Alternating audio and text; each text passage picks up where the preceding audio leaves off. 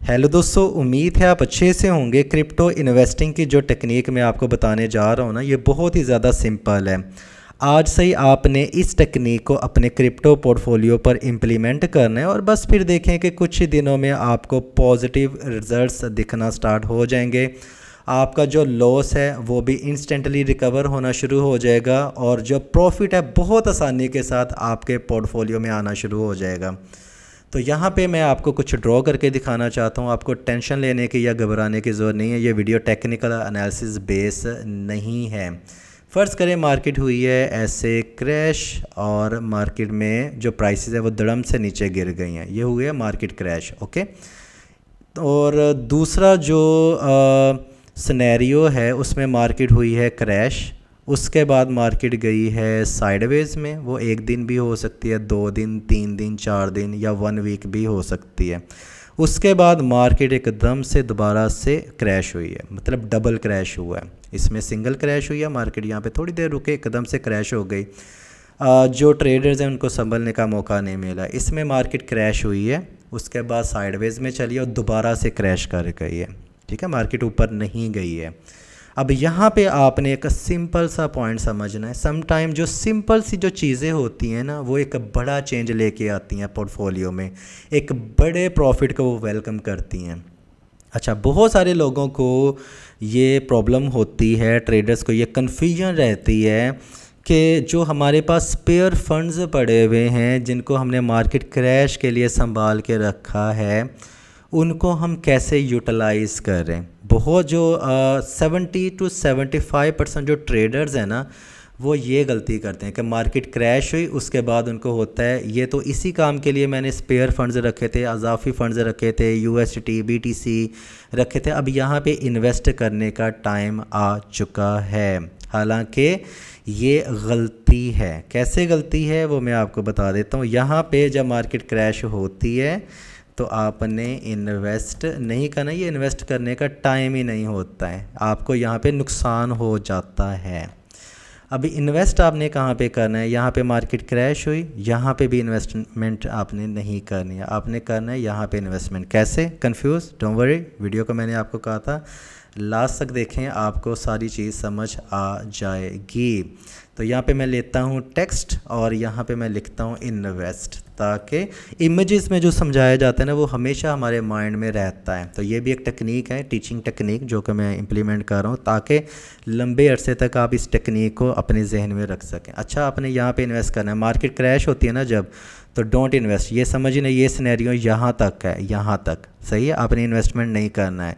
Sideways में market चली, उसके बाद मार्केट एकदम से सेकंड क्रैश लेती है ना, तब स्पेयर फंड्स को यूज़ करने का टाइम होता है। राइट ये चीज़ आपने समझ ली, अब सेकंड स्टेप की तरह बढ़ते हैं। अच्छा ये लोगों को होता है कि मैं 500 डॉलर मेरे पास स्पेयर फंड्स पड़े हैं, मेरे पास 1000 डॉलर स्पेयर पड़े हुए हैं तो मैं जब मार्केट क्रैश होगी तो इन्वेस्टमेंट करूँगा। गलत टेक्निक है, गलत अप्रोच है। सही है? एक सिस्टमेटिक वे में आपके पास फंड्स होने चाहिए। कैसे? चलें, आगे समझते हैं, आगे बढ़ते हैं। करना क्या होता है कि फ़र्ज़ करें, आपने किसी कोइन में आप इन्वेस्टमेंट कर रहे हैं ठीक है, आपने 200 डॉलर इन्वेस्ट करना है। तो आप 200 डॉलर इन्वेस्टमेंट नहीं करेंगे, आप 100 डॉलर इन्वेस्ट करेंगे, ठीक है? 100 स्पेयर फंड्स रखेंगे। 100 को आपने कर दिया 50 परसेंट को आपने इन्वेस्टमेंट कर दिया 50 परसेंट को आप एज ए स्पेयर फंड रखेंगे ओके वो जो स्पेयर फंड्स हैं, वो काम आएँगे जब मार्केट डबल क्रैश होगी। अब होगा क्या? जस्ट इन केस बहुत सारे लोग स्टॉप लॉस लगाना पसंद नहीं करते हैं, या मार्केट सम टाइम एकदम से दड़म से गिरती है, वो एक्चुअल बाइंग प्राइस पे जाती नहीं है, संभलने का मौका मिलता नहीं है लॉस हो जाता है, ठीक है? तो इन दैट केस में वो जो वन हंड्रेड डॉलर होगा, वो आपके काम आएगा। सही? सिंपली ऐसा नहीं करना कि चार सौ डॉलर रख लेने अंदाजन 500 डॉलर या हज़ार डॉलर या 200 डॉलर रख लेना, ऐसा नहीं करना है। जितनी इन्वेस्टमेंट की है, उतने स्पेयर फंड्स होने चाहिए, ठीक है? 50 परसेंट नहीं कर सकते हैं तो कम से कम 70 परसेंट इन्वेस्ट करके 30 परसेंट आप रख सकते हैं। जब मार्केट सिंगल क्रैश होती है इन्वेस्टमेंट नहीं करनी है। जब मार्केट क्रैश हुई, उसके बाद जब डबल क्रैश हुई, तब इन्वेस्टमेंट करनी है। बहुत दफ़ा ऐसा भी होता है कि मार्केट क्रैश होती है एक दफ़ा, उसके बाद वो रिकवरी की तरफ़ चली जाती है। तो आपको वो जो स्पेयर फंड्स हैं, वो आपके पड़े रह जाते हैं, वो सिक्योर रहते हैं सेफ़ रहते हैं।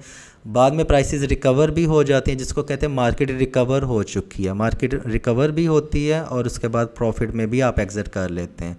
लेकिन जस्ट इन केस अगर मार्केट क्रैश हुई, दोबारा पे बाइंग प्राइसेस पे नहीं जाती है साइडवेज में जाने के बाद दोबारा से क्रैश हो गई है, तब वो स्पेयर फंड्स आपने इन्वेस्टमेंट करने उसी कोइन में, जिनके लिए आपने शुरू में 50 परसेंट बचाया था। समझ आ गई मेरी बात?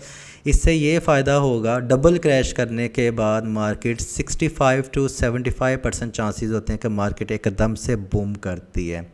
ठीक है? तो नीचे से आपको होगा प्रॉफिट जो आपने सेकंड बाइंग की होगी। कोई मुश्किल तो नहीं है, बहुत आसान है। वो जो प्रॉफिट होगा, फ़र्ज़ करें नीचे आपने 100 डॉलर इन्वेस्ट कर दिया, ऊपर से आपको तकरीबन 50 डॉलर का लॉस हो रहा था 40 डॉलर का चले लॉस हो रहा था। डबल मार्केट क्रैश में आपने इन्वेस्टमेंट की और वो 40 डॉलर ऊपर आपको प्रॉफिट हो रहा है नीचे से, ठीक है? सेकंड बाइंग में फ़र्स्ट में तो नुकसान है ना?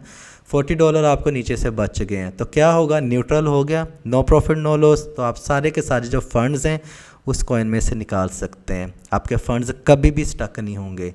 लेकिन होगा क्या? आपको प्रॉफिट ज़रूर होगा। ठीक है? नुकसान नहीं होगा तो प्रॉफिट ज़रूर होगा। नुकसान से बचना है प्रॉफिट खुद ब खुद आपके पोर्टफोलियो में आना शुरू हो जाएगा। इन ए नट शेल अगर मैं समरी दूँ, जब भी आपने पाँच कॉइन्स में अगर इन्वेस्टमेंट करनी है तो पाँच कॉइन्स में अगर आप हंड्रेड डॉलर इन्वेस्ट करते हैं तो आप उसमें फिफ्टी डॉलर ही करें। अगर आप टू हंड्रेड करते हैं तो हंड्रेड डॉलर करें। हंड्रेड डॉलर उन पाँच कॉइन्स के अलग से रखें। ठीक है?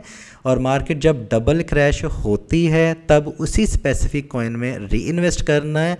नो प्रॉफिट नो लॉस पे भी एग्जर्ट कर सकते हैं प्रॉफिट में भी एग्जर्ट कर सकते हैं। आपका लॉस भी रिकवर होगा साथ साथ में, ठीक है? अगर वो मार्केट उस पॉइंट पे नहीं आती है मार्केट डबल क्रैश नहीं होता तो वो फंड्स पड़े रहें। वो उसके, उससे आपको नुकसान नहीं होगा। वो आपकी एक सिक्योरिटी है। पीछे सिक्योरिटी होगी पॉकेट में पैसे होते हैं ना तो आप मार्केट में बड़ा अकड़ के चलते हैं। पता होता है पॉकेट में पैसे मैं कुछ भी बाई कर सकता हूँ। लेकिन अगर पॉकेट में पैसे नहीं है ना तो आप देख लेना, आप उस बंदे की तरफ़ देख लेना, अपने आप की तरफ़ देख लेना, उस कॉन्फिडेंस के साथ वॉक नहीं कर पाएँगे बाज़ार में। अगर पॉकेट में पैसे होंगे तो कॉन्फिडेंस के साथ मार्केट में चल पाएँगे। डर भी नहीं लगेगा, ठीक है? क्रिप्टो करेंसी में डर लगता है कि कहीं नुकसान ना हो जाए। पता होगा कि अगर नुकसान हो भी गया तो ये टेक्निक है ना मेरे पास सिंपल सी है इससे मैं नुकसान पूरा कर लूँगा, है ना? मज़े की टेक्निक समटाइम सिंपल चीज़ें बड़ा चेंज लेके आती हैं। अगर आपको लगता है कि आपको वन परसेंट भी नॉलेज मिला है तो वीडियो को लाइक एंड शेयर करना मत भूलिएगा। अपना ख्याल रखिएगा हैप्पी ट्रेडिंग टेक केयर